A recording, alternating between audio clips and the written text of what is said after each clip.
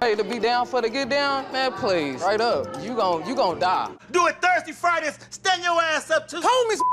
Kids who were unfazed on Beyond Scared Straight. Beyond Scared Straight is a television series that was aired on A&E between like 2011 2015. It was probably one of the most popular television series. Let's go and get into it right now and see what's going on, man. Anthony doesn't take anything seriously, which is why he worries his mom, who finds his attitude rubbing off on his young sister. I'm Anthony. Oh, I remember Anthony. And I've been arrested for gun charges. I remember Anthony. The dude was not taking nothing. I he wasn't he wasn't going for Nathan. Nothing ticks off officers more than the smug grin on Anthony's face, and if he were allowed, this officer would probably smack it off his face. Think it's a joke? Think it's funny? Yeah. Why? With oh me and everybody else. Oh my God, God ain't gonna help you here. Can someone give Willie his well deserved medal because he calls out his offense like it's a breakthrough in string theory? What's your problem? Why are you here today? You're proud of being disrespectful. I don't give a crap. Despite their tactics, Willie remains unmoved by the officers. Would meeting with the inmates be any different? That boy Willie had the death stare the whole time. Anybody came to him, he was, I'm talking about like fearless, bro. Puts a roof over your head, buys that clothes you got on, and you're gonna hit her? Put your hands down before I take you down. Anthony is happy to have camaraderie in his rebellion and acts up even more. If you gotta use the bathroom, it's right there. If you need a drink of water, it's right there. It's funny? That's that's what you want for your sister? Anthony's continued defiance gets to the officer, and he snaps. Time. I know you are. You are time. You won't even stand up and try to help your sister. Don't rely on a coward to protect you. If the officers were expecting Willie and Anthony to behave when they meet the inmates, they're in for a world of disappointment. Bruh, noggin is just like his neck compared to his head pause ratio is just it's just crazy. What you here for? Armed burglary. Oh, burglary. I asked you a question. You want to go in there with him? really. I'll be back. Cortasia has more vices than some adults would ever have in their lifetime. Oh, I remember her. My name is Cortasia. I'm 15.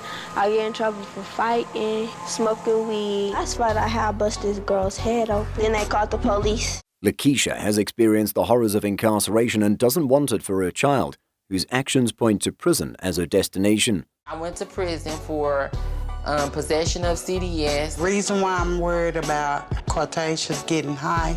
Bring him in. Cortasia gives the officers hell at intake, which means her tour will be as dramatic as possible.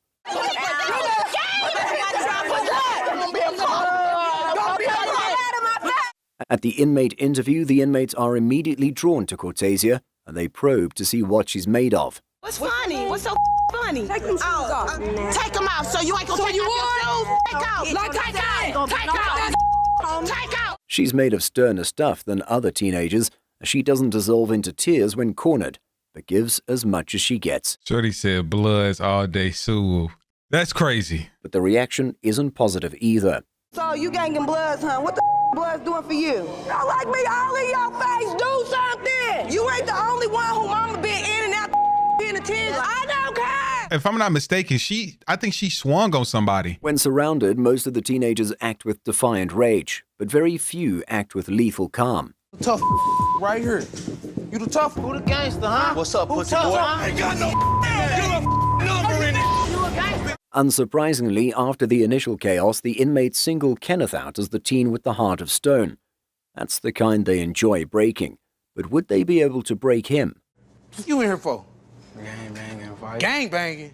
Yo, little punk ass. Blackstone. Punk ass dude. Kenneth responds to all the questions thrown at him coolly, making the inmates more determined to get a reaction out of him.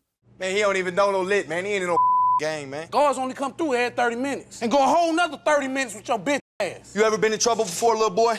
Yeah. For what? Speak up. I can't hear you. Man, I don't sleep on them white dudes, man. I'm telling y'all, them them must be thinking, oh, just cause I'm black, I ain't got a bro. Them white dudes be getting down too. Them Asians be getting down. Them Hispanics definitely be getting down, bro. Like people, it ain't it ain't really no race when I say it comes to to to this to the gangbanging stuff. George's expression mirrors the shock most people in the room feel as not even the big bad wolf gets through to Kenneth. I'm the big dog, so when they come in here with that bull, I'ma set their ass straight. Cause you one of them tough. I sell that boy for Zuzus. That's what you gonna be. Shows he can be malleable in the right circumstance. Do it Thursday, Fridays. Stand your ass up to Homies, shit. Call me Do Chess right now. said. Give it 10 him. And I wish you don't do it. Unbelievable. Bro, I'm sorry, bro. We would have just had it, bro.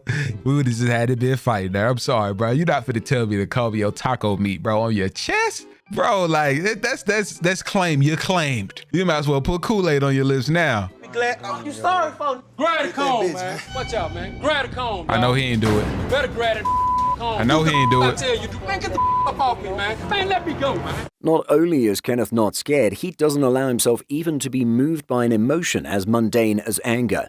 With that face, he would be great at poker.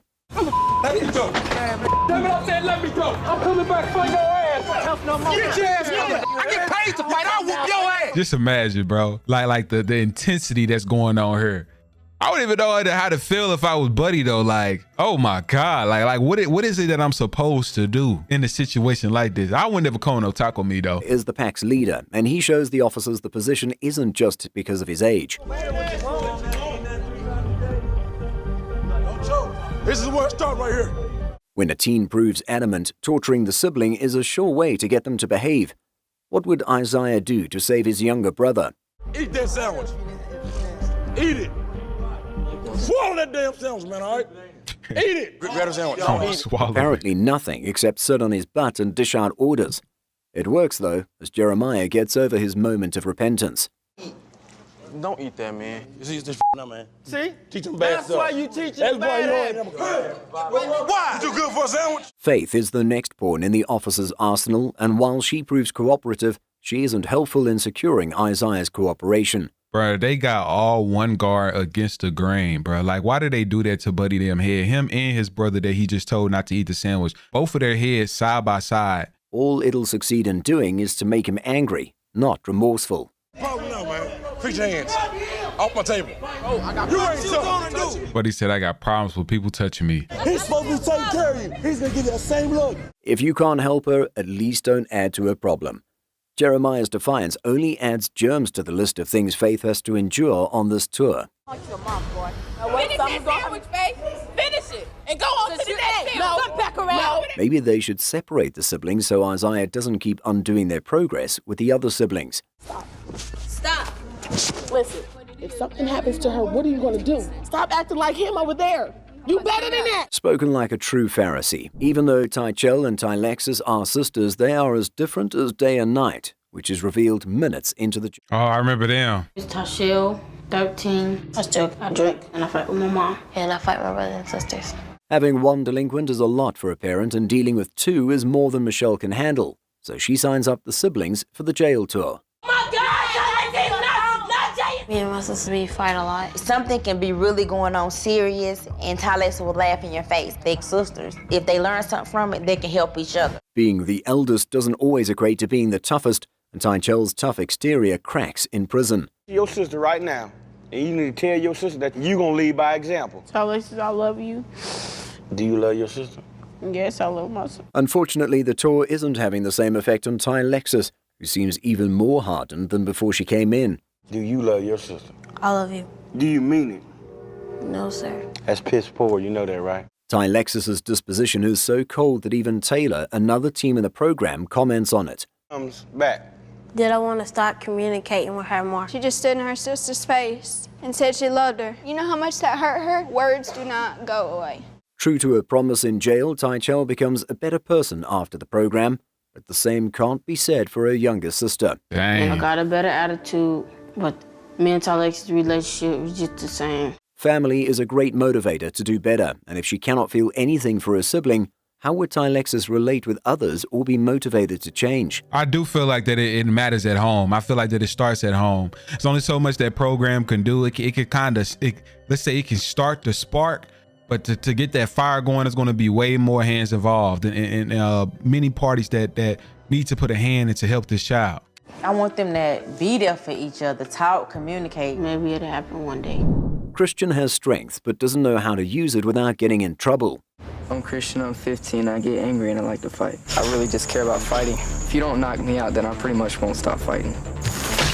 His parents have taken measures, but the solution is temporary. Christian needs to figure out how to relate to people with his words, not fists, and be reintegrated into society. Up until his past school year, which was eighth grade. When he got in school, he wanted to fight everybody. At school, I got kicked out of school for that. Getting to really hurt himself. Scott's analysis of the situation is grim but accurate, and the jail program is the only solution left.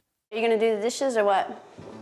They're already done. His mom got into an argument as they were arguing. Once he gets mad, he just loses it. Somebody will stab you. Like everyone on our list, Christian isn't worried about the program and gives the officers a tough time with his nonchalance.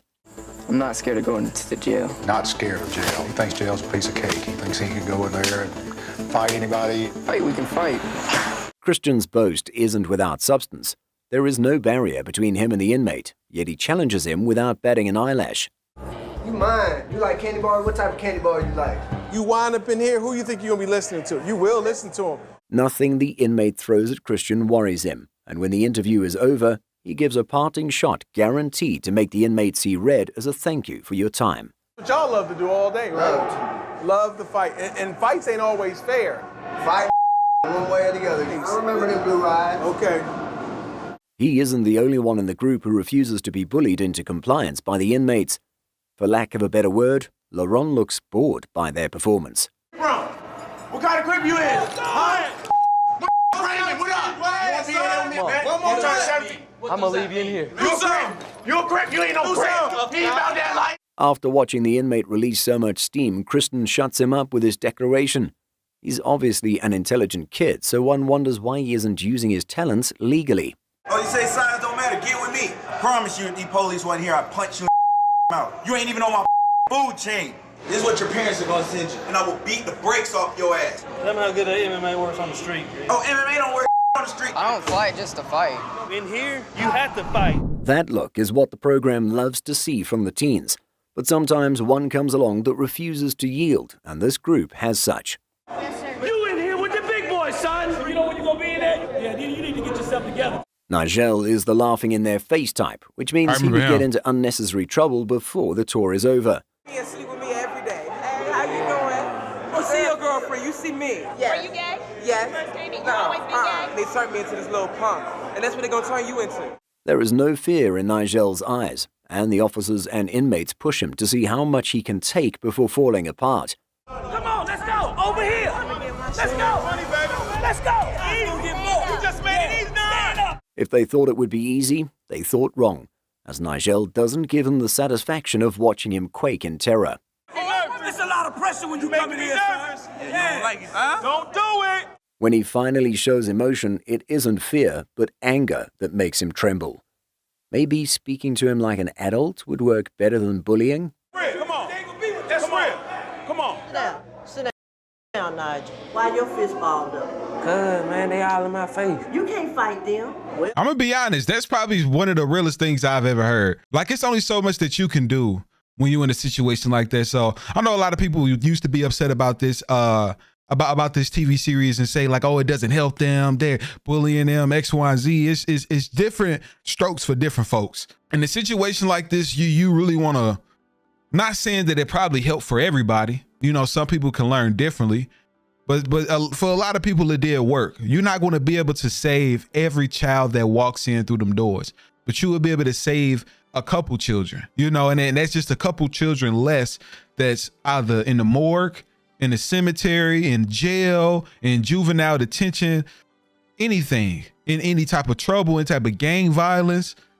Like like it, it, it can help. It probably didn't help every single body or certain individuals, but it helps some people, and that's all that matter. But y'all let me know. This this was a pretty crazy episode. It was. I'm gonna probably do part two because they got more to these. They definitely got more to these. I'm gonna do a part two, and y'all let me know how y'all feel about this one. Let's get this video. Let's say the 5,000 likes, and we'll do part two. You know, five is is, is is the lucky number when it comes to likes. Y'all be doing y'all thing when y'all get into like 3,000. Let's try to push it up. Let's get to like 5K, and I'm gonna get y'all part two. Let's get it. Let's go. I see you all tomorrow, man.